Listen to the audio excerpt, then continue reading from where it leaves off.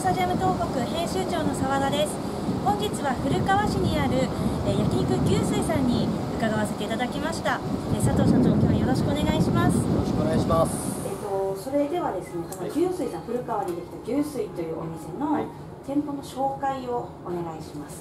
はい。えー、っとまあ焼肉牛水という店なんですけども、はい、え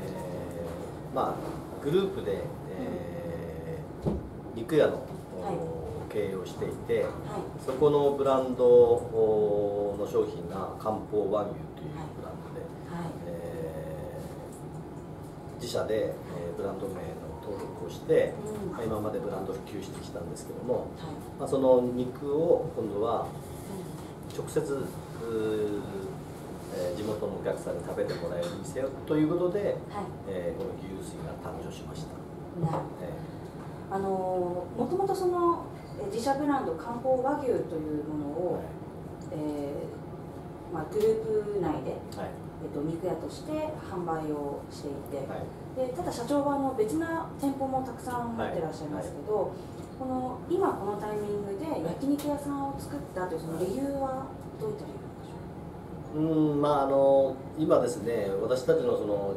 もともと飲食をしているわけですけども飲食の業界の一番のその課題っていうのは、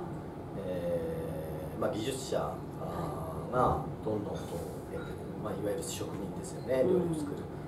うん、からまあ全体的にこう人手不足っていうのが大きいこう、課題問題になってるんですけども、はい、まあ、そういった部分を自社のグループ内の今やってる事業を改めて一つ一つ検証してこの先の方向性を考えた時にまあ、焼き肉屋で持ってるその加工場の設備だったり、機能だったりそれを自分のその飲食事業に生かしていくっていうのが一番こうあるべき姿なのかなっていうことをふとまして、えー、であればあの肉を一番こう消費、まあ、販売できる焼肉屋を一点立ち上げてみようというところから始まったんですね。それと、まあ、場所的になぜここを選んだかというと、まあ、ちょうどこの栗原の隣の大崎市ちょうど25分とか30分ぐらいで、車で来るわけなんですけどもでこの市場ってあまり近すぎてですね私実際はあまりこう市場のことよく分からなかったんですけど。そうなんですね、えー、ただその実際、えー、それを物件を探しながら場所をこう確定していくこう状況の中で、えー、実はこれだけ今大崎市っていうのは13万ぐらいの人口があるわけなんですけども、あのこれだけのこう町があって歴史もあるところなんですけども、えーまあ、チェーン店とかあの焼肉屋さん何軒かあるしもともと地元でやってる焼肉屋さんもあるんですけども、うん、ある程度そのアッパーな業態っていうかいいものを食べてもらう、それからまあそれを食べられる層その層の店っていうのは現実その調べた結果なかったんですね実際常にあの私が考えてるのはその、まあ、ニッチな業態を作っていこうという、あのあるものではなくて、うん。ある、うん、その地域であってそこにこう値段で対抗するような店ではなくてその地域になくてそういうものを必要としているような業態にしようということで、えー、焼肉屋っていうのは決まってたんですけどもどのランクの焼肉屋にするかっていうのは決まってなくてでこの市場にそういうものがないっていうんでそのちょっとアッパーな和牛を専門にあの使うようなあのお店を作ったらいいんじゃないかっていうとこからこう発想が始まったんです。なるほど。実際あのオープンして、はい、まあ時は経ってますけれどもどうですか？実際にそう自分が想定していた状況と今と？そうですね。ちょうどまあ1年過ぎたぐらいになってるわけですね、うん、オープンしてから、はい、でまあ当初7月の2日だったかなオープンして、はい。えーまあ、12月ぐらいまではやっぱ新しい店っていうのは、うんうん、勢いよく、うんうん。半年ぐらい行くんですよ。なるほど、うん、オープンケーキ。そうですね、はい、っていうのはその私たちが今、あの最初にこう想定したお客さんじゃない人たちも含めて最初はオープンっていうのが来るわけです、はい、でそこからやっぱり一回、えー、落ち着いて、うん、えー、じわじわとそのあの私たちが求めているお客さんたちが、あのにこう集約されていくんですよね、うん、でそれを今度しっかりした営業の中で一つ一つこうあの不安作りをしていくと、特にあのこの業態はですね焼肉の業態っていうのはほとんどの人がそうだと思うんですけども焼肉を食べるっていう時はうち出る時会社出る時って言ったら今日は焼肉って決まってる状態なんですよ。うんうん、で居酒屋さんっていうのは街歩っててあなんか新しいのできたからここ入ってみようかってあるんですけど、うん、焼肉は絶対ないです、うん、ほほぼない業態で、特にこう家族連れなんかならばもううち出る時から行く店って大体決まってるんですね、うんうん、あそうかもしれないですね、はい、ですから、新しく店出してそういう今、えー、なんとかというこうお店の不安の人たちを自分たちの不安にするっていうのは時間がかかる業態なんですよ、うん、うんうんうん。えー、そうか。そうですね、本当に。自分、まあ、その心理分析みたいなのもした上で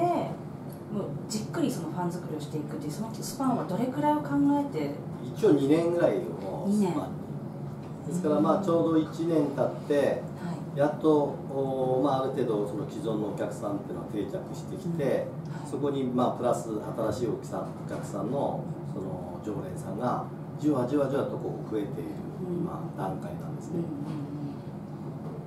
でそれがこうしっかりできると、あの逆に言うとしっかりした営業としっかりした商品力があると、あの固定できる業態でもあるんですよ、逆に言うと。なるほど、ね、うん、もうファンがしっかりこう回してくれるとか、うん、まあもう選んでもらえる、う。ん、そういう意味ではやっぱりあの何度も言うようにこう商品力を絶対落とさないようにものにしなくちゃいけないし、まあ、サービスの部分も常に意識してこうレベルを上げていくっていうことをやらないと、あのあっという間にお客さんがこう減っていく業態でもあるんじゃないかなと思いますけどね。社長はあの他にもお店やってらっしゃるじゃないですか、はい、その他にやっているお店とここの牛水っていうものを比べるとそこ何かこう違いはありますか？大きく違いはないですね、えー、あのまあ、今までいろんなこう店やって失敗した店ももちろんありますけども、あの基本的にはその地域の中でその何ですかね、えー、まあ、お客さんに支持が得られるような業態作りってずっとやってきて一般的に言うと例えば成功店があって、えー、成功店をモデルにして、はい、えー、多店舗化していくっていうのが、一番妥当な考え方なんですよ、ね、はい、普通まあ、セオリーっていうのはそうですよね。それができないんですね私には。だから。うん。なんでその常に全ての店がコンセプト違う店やってきて、はい、それはそれで非常に苦労してる部分でもあるんですけども、あのそれがやっぱりこう地域の中で生かされるっていう部分からすると、まあ今あの突き立てに、えー、満点という大きいね、はい、あの150席ぐらいあるようなでかい店もやってますけども、はい、まあ、そこもやっぱり地元の人たちの、うん、えー、いろんなその幅で、うん、あのお祝いの席から会社の、えー、宴会から、法事から、えー、結納とかそういう部分まで、まあ、幅広く使われてるわけですけどもあのやっぱりその地域の中でそういうふうにこう使っていってもらえるっていうことは存在価値があるっていうことだと思うのでだから一個一個常にこう本店っていう意識であの考えてるんですよ。ださそれがたまたまこの牛水はこの大崎の古川から発信してここが本店で、えー、栗原から来たその牛水ではなくて、えーまあ、2年ぐらいにも時間かけてもともと大崎から生まれた牛水というところに、あの行くっていうのが目標なんですけどね、まあ、失敗最初のスタートで失敗しましたね、あのまあ、非常にこう創業のお店の恵比寿っていうのはそのいわゆる悪立地っていう飲食では絶対ありえないところの立地で始めたんですよ、でそういうこう状況から立ち上げたのでオープンイコールすぐにお客さんがいっぱい来るとは想定してなかったんですよ。あ逆に？逆に。ええー、なので非常にやっぱりその以下素人軍団でも始めたわけですけども、思った以上に、まあ、当日平成9年の5月3日の日にオープンしたんですけどもオープン前ですね4時頃から外に人が並んでるんですよ、もうその並んだ瞬間にみんな今までそのトレーニングしたのを全員もうぶっ飛んじゃったの。バーン嬉しさでじゃないですか。パニックで。もうパニックで。もう案の定もう店開けたらもうぐちゃぐちゃになってでまあ最初もうそのまま夏に向かってこう勢いよくあの売り上げもぐわっと上がってたんですけどまあとにかくドリンクは出ない料理は出ないでしょ。あっという間に悪評出て、えーちょうど12月頃までなんです。5月にオープンして12月ぐらいまでは一気に行ったんですけど1月になんと半分以下にドーンと落ちたそこからもうなかなか浮上できなくなってで結局それをもう一回あのまっさらにして組み立てして、えー、またそのお客さん呼ぶのに、まあ、1年2年かかったわけですけども。1年ぐらいかな。でも一回こう全部リセットして、えー、もう一回こう始めたんですよ。でそこからですよねやっぱり。でやっぱり繁盛していくにつれて悪評がどんどんどんどんこうもう消えちゃっていくっていうかそれ繁盛してないとずっと悪評だけ残ってたと思うんですけど、まあ、そこからもう一気にこう、駆け上るように売り上げがダダダーッとこう上がっていくっていうか。そのあのなんだ最初わーってきて、まあ、それは嬉しい偶然だったかもしれないけどバンって下がって悪評が当たって、で次登っていくために何をしたんですかなんですかね最初はやっぱりそういうこう立地も悪いのである程度こういう人にも来てもらえてこういう人にも来てもらえて幅広くこうやっちゃったんで、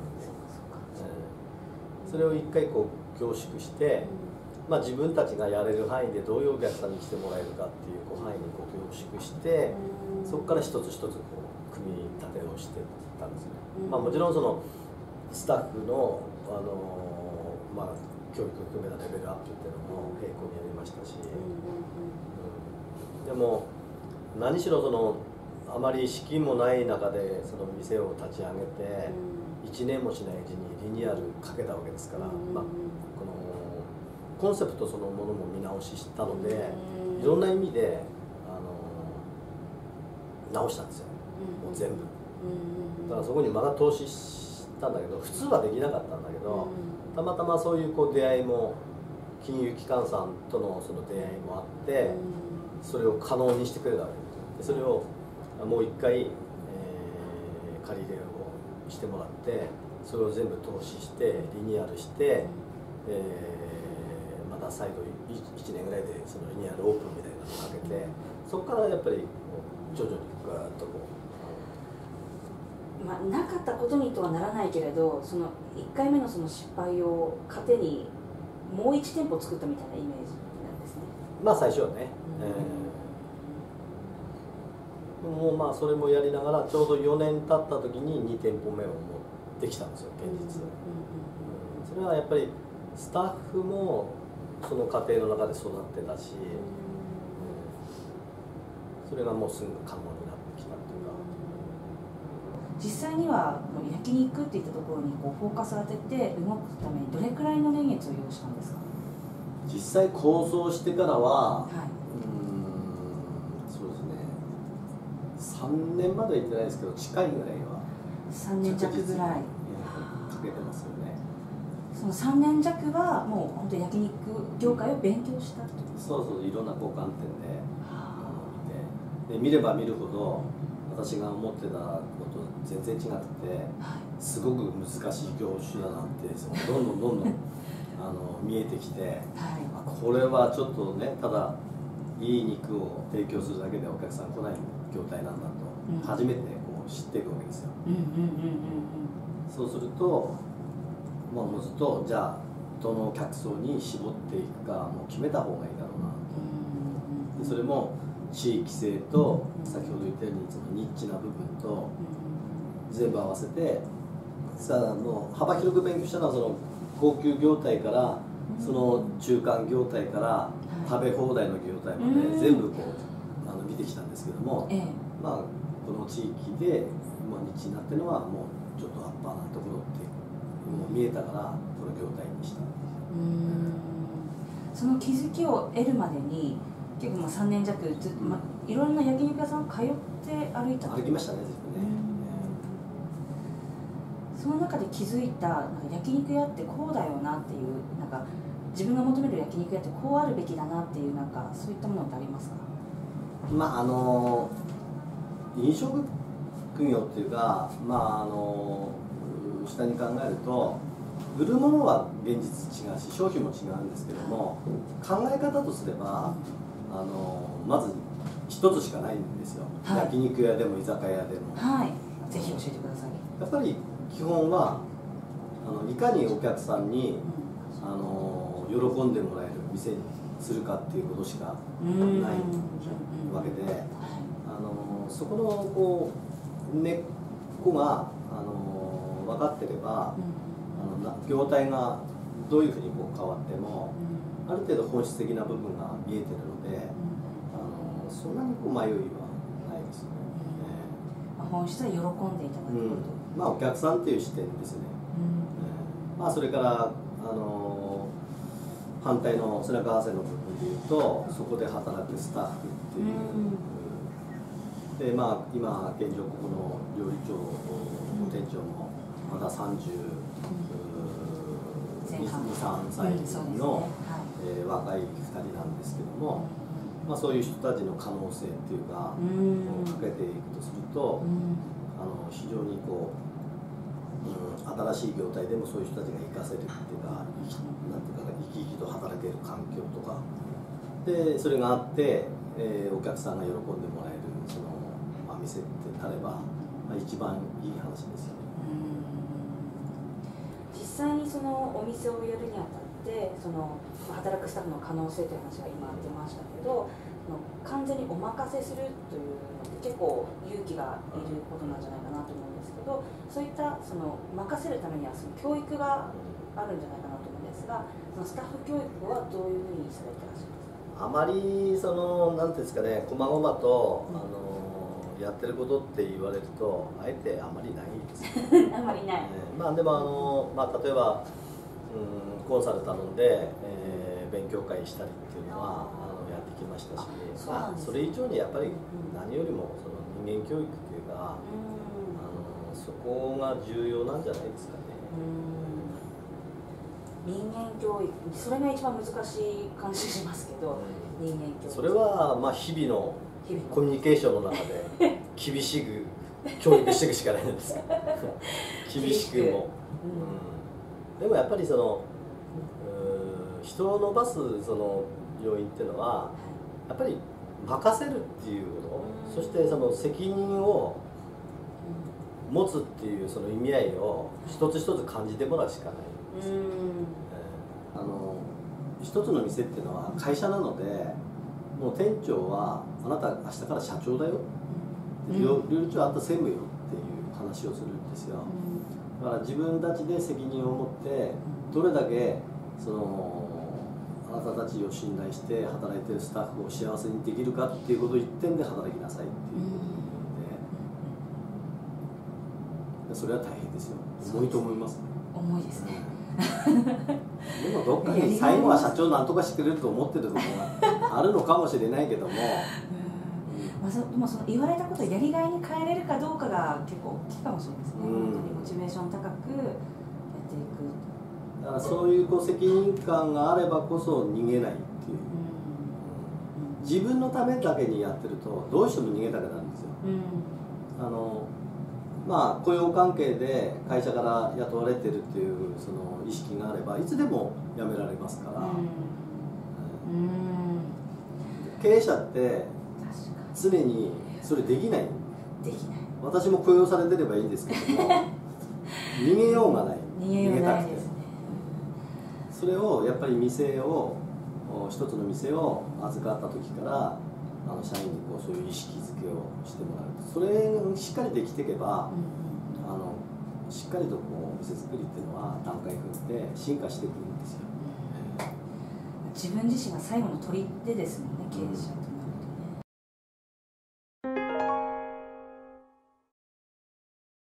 まあ、私があの牛水のあの経営者の佐藤と申します、えー、まあまだまだ大崎のですねあの古川というこう土地の、えー、発祥の店というこうイメージが地元にはできてませんけどもやっぱりこれからあのしっかり地域に根ざしながらあの地元に愛される店作りをしっかり目指していきたいと思いますので、えー、ぜひあのまだ来たことのない人も、えー、ユースに来て、ただいて、まあ、美味しい料理と、えー、楽しい時間を過ごしていただきたいなというふうに思いますのでよろしくお願いします。今日は本当にありがとうございました。はい、